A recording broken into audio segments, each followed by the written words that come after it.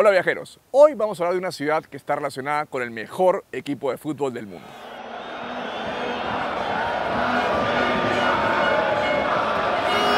¡Saque esa vaina! Estamos hablando, por supuesto, de Madrid, la capital de España. En la cuarta temporada de Tres Travel Bloggers acompañé a Gaia, Ariana y Toya a recorrer esta super ciudad. Soy JL Pastor desde la Universidad de Medellín y estas son cinco cosas que quizás no sabías de Madrid.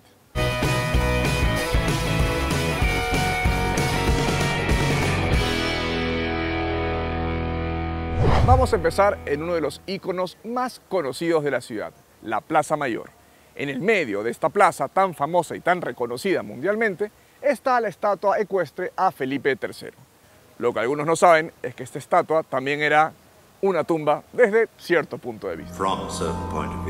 Al inicio de la Segunda República, en 1931, esta estatua fue objeto de un atentado. Le pusieron un explosivo y no pasó mucho. Nadie murió, nadie salió herido, pero todo el mundo que estaba en la plaza empezó a recibir una lluvia de huesos de pájaros y nadie sabía por qué. La plaza estaba repleta de huesitos de pájaros.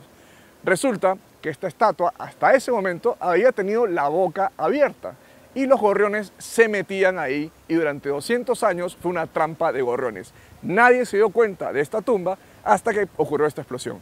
Hoy, si se acercan a la estatua, van a ver que la boca está convenientemente cerrada. La boca del caballo, claro, no de Felipe III.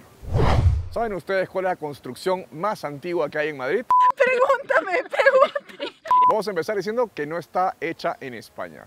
El templo de Devot es un templo egipcio que en 1968 fue trasladado a España desde Egipto pieza por pieza y reconstruido tal como estaba originalmente a las orillas del Nilo. La construcción original es del año 200 a.C y fue un regalo del gobierno de Egipto a España por su participación en la construcción de la represa de Asuán. Vámonos ahora a la fuente de Cibeles, otro de los iconos de esta hermosa ciudad. Poca gente sabe que la fuente de Cibeles tiene un papel sumamente importante en la seguridad del Banco de España. ¿Cómo así? Pues resulta que las cámaras de oro del Banco de España están 35 metros por debajo de la fuente de Cibeles, más o menos en la parte en que están los leones adelante de la carroza. Si alguna vez alguien entrara ilegalmente con la intención de robar, la fuente de Cibeles se vacía y toda su agua inundaría esa recámara.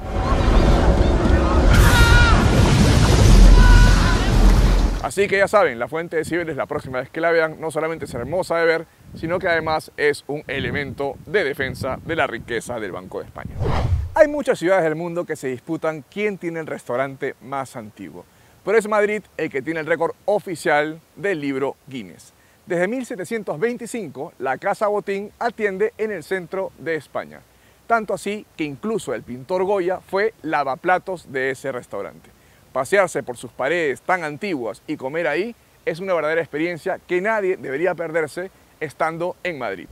El oso y el madroño son los símbolos de Madrid y muchos nos preguntamos por qué se puede encontrar en muchos escudos de la ciudad y también en la famosa estatua que está en la Puerta del Sol.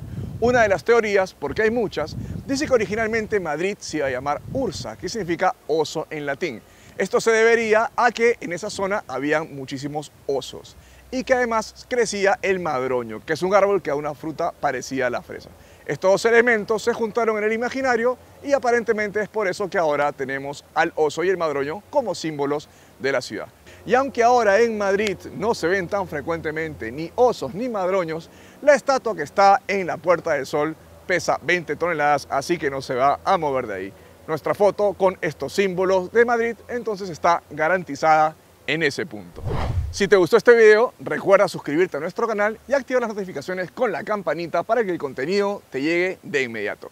Agradecemos a la Universidad de Medellín por habernos prestado sus instalaciones para este episodio. En los comentarios ya sabes que puedes ponernos tus opiniones sobre este episodio o sugerencias sobre algún otro capítulo que te gustaría ver en 5 cosas que quizás no sabías. Acá puedes ver el capítulo completo de Madrid, que fue muy divertido de hacer, así que les recomiendo verlo, y otras cosas que hemos hecho en tres Travel Bloggers. Buenos viajes.